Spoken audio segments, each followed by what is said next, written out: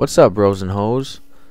Grizzly here. Got a little free-for-all gameplay here. Uh, I go ham in this gameplay, just like my last gameplay and my gameplay before that, and that, and that, and that. Yeah, let's get to it. Uh, I go 13 4 here. Uh, quick scoping with the MSR, and I do pretty good. This commentary is I haven't posted one in a week or so, and I kind of want to start a new series called like Q&A, like, you know, questions and answers.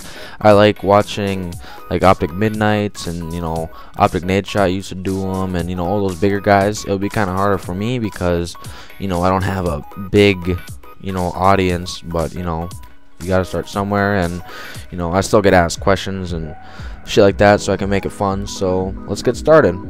Alright, my first question comes, I'm not, I'm not even gonna bother saying the names or whatever, but he asked, why are you still doing the YouTube thing? Like when you like, what motivates you to keep on going when you have like not too many subscribers and you know shit like that, not so many views and a big audience. What what what do I keep going for? You know, um, my answer to that is you know I do it for fun. Uh, it's really fun playing Call of Duty. I like the community you know getting asked questions and answering them and it's a big fun and you, know you gotta start somewhere. Not everyone starts off with you know 200k subscribers you know you gotta start somewhere. And even if i only had like 100 subs i'll still be posting videos and shit like that. So you know i'm at 505ish now and i just love posting videos. When i first started posting i was at like 430 so yeah but that's pretty fun. So um basically what what is my motivation? It's just i like getting the good feedback the good comments you know just people just saying you know they like my shit you know so yeah. All right question number two. Once again i'm not going to say his name or her whatever. Um why do you still play free for all like why do you play free for all all the time? The reason i play free for all for most like every one of my gameplays i've had so far has been free for all.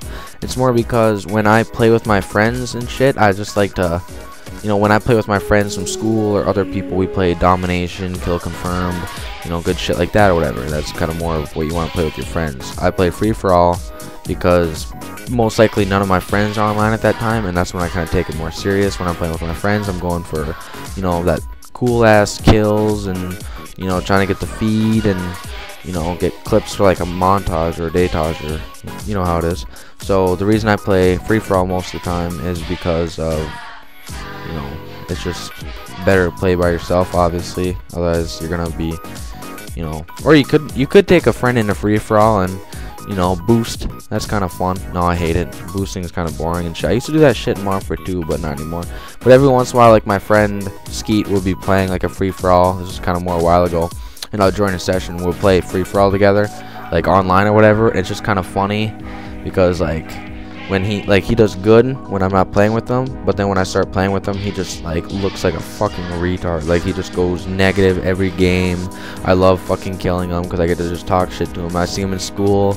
I just love giving him shit and you know good shit like that. We'll probably be doing a dual com one of these weekends, and then you know I'll have his channel up there because he's he's gonna start recording. He's in HD PVR, so hopefully he gets better content than me, which won't happen because he's he's a redhead. So you know, God hates him. So I don't know how good he'll do in the community. Maybe he should make a account called Ginger Fuck or some shit like that, whatever. Alright, last question. And I know we got like like two minutes left or whatever, so I'll probably expand this one a little bit. Um, let's see. He asked, "What do you do on your spare time, like other than Call of Duty?" Uh, let's see. I got quite a bit. Uh, after like I, you know, suck at school. Well, you don't know that, but I suck at school, so I don't do homework because I'm an underachiever. So what I do when I'm not playing COD, after school, school ends at like 3:10. I weightlift from about you know that time till about 4:30. I like to you know hit the weight rooms, get buff shit.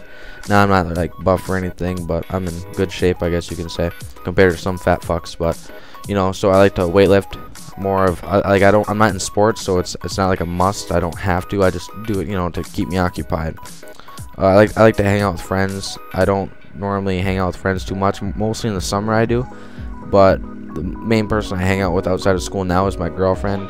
she normally comes over, you know, once or twice a week or whatever, and you know, I like to do that. Like on the weekdays, like my brother, he comes like to my house or whatever, and we like to go, you know, hang out at the mall, go, you know, yell at old people, and you know, look at black people weird, and you know all that good shit you do with your brother unless your brother's like a dickhead to you like what mine used to be but you know whatever so all right this has been XHD Grizzly bringing you a free for all commentary. I'll see you guys later. Peace.